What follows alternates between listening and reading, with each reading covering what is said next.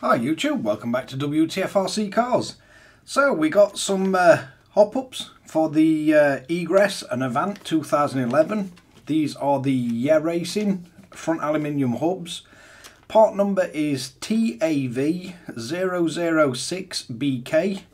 Guessing BK because these are the black ones. So, let's bring in for a close-up look and see how these uh, see if these hubs fit on the new Egress Black Edition. Right, so first off, we're going to get these open. So as soon as you take these hubs out, they've zip tied them together so they don't get all uh, scratched up, which is quite nice. So we'll separate them. I think looking at it, uh, it's not that long since I built this, but I think that is the way they go on. They're not marked L or R, so I think we'll have them fitted. I think it's that way with the arms facing backwards. So, first thing we're going to want to do is drop our front wheels off. Let's start by just removing the wheel nuts. And it shouldn't be too bad of a job this. So the next thing we're going to want to do is remove our hexes.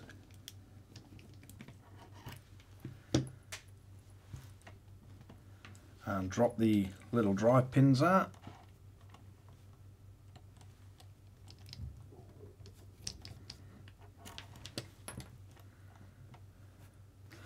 So that's nice and easy.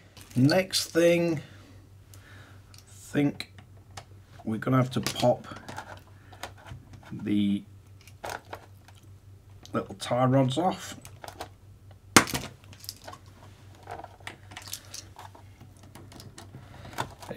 should be fairly easy. Then we're going to use our JIS screwdrivers and we're going to be removing the kingpin bolts on both sides.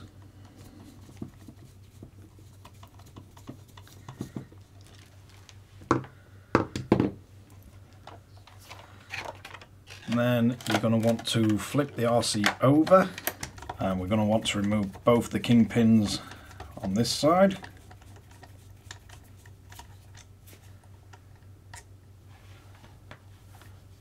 And as opposite side. And I think these these plastic ones were one of the few bits that I thought these kind of look really weak on this RC so once we've got them removed, you should just be able to pop them off. But you should just be able to slide both sides out. And don't worry if it leaves the bearing on. And for some reason, I'd got that little spacer. I think it's off the top of the suspension. Yeah. So the little spacer on top, just make sure they don't fall off. I wondered what it were doing, stuck side at drive shaft. So, once we've got them removed, you should have the tiny little ball joints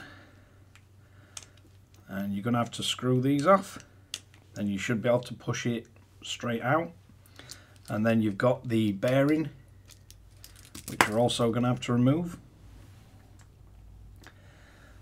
so if we then fit the bearing back in the front. Then these are threaded now. So it's entirely up to you if you want to put the lock nut back on just to keep an eye on it so you know where it is. They are now going to hold in really tight and if you really wanted to you can put the little lock nut back on just to make sure it's not going to go anywhere but they're going to be held on pretty solid. Now remember your little spacer on the top so you should just be able to slide these back into position and then your bearing will carefully slide inside it. And then we've got to get this little shim underneath. So you should be able to carefully line it up and then drop your kingpin back through, making sure you go through the middle of that spacer.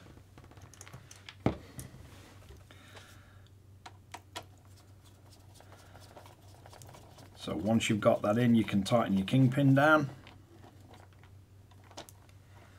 And it should be nice and free movement wise.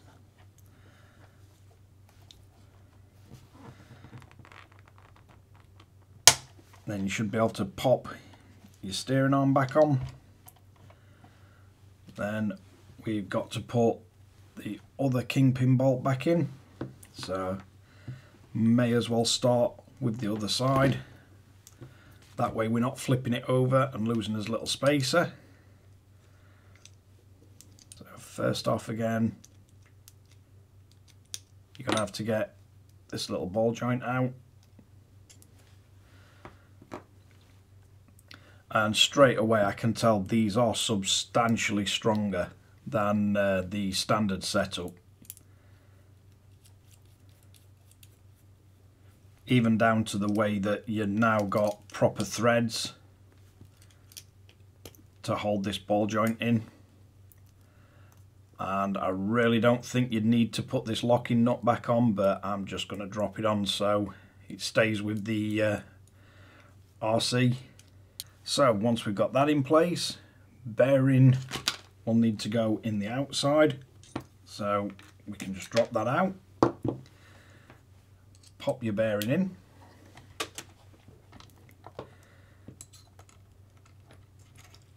Then you're going to want to line it up, make sure your drive shaft's not trying to fall out your vehicle. So you don't want it coming out at the diff. Slide your bearing into place. Then you should be able to slide your drive shaft in and you want to get it lined up.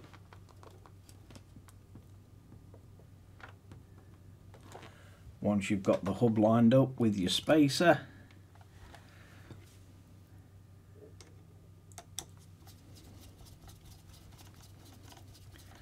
should then be able to drop it through and get it tightened up.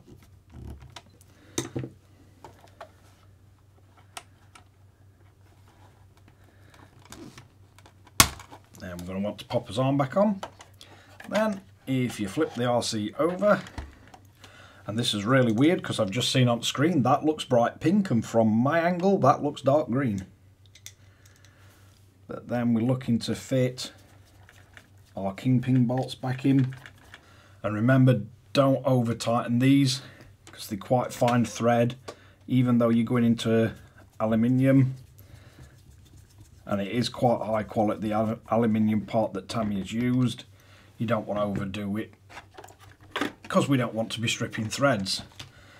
But they are really a really nice fit so far. So let's see if we can finish this off. This will be a lot easier for you guys because you're not trying to get it to show up on camera and you can line it up from the side you can actually see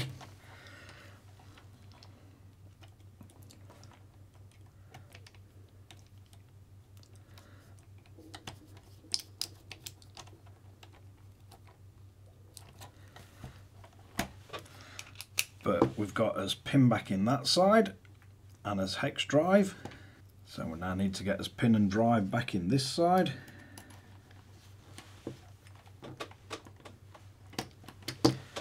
And then just a quick check to make sure everything's free nothing's binding up.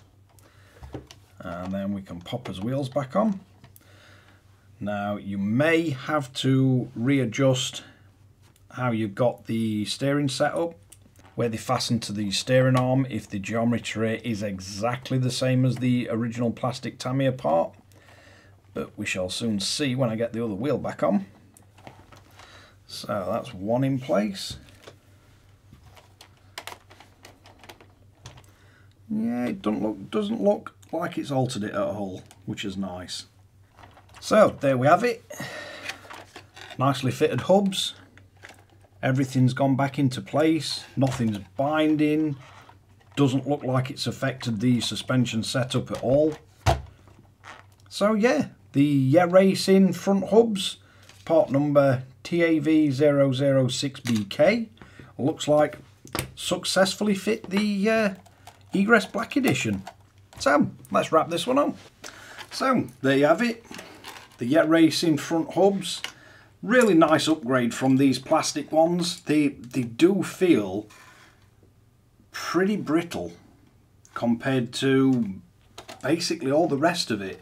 The arms feel a lot less brittle than what these hubs do.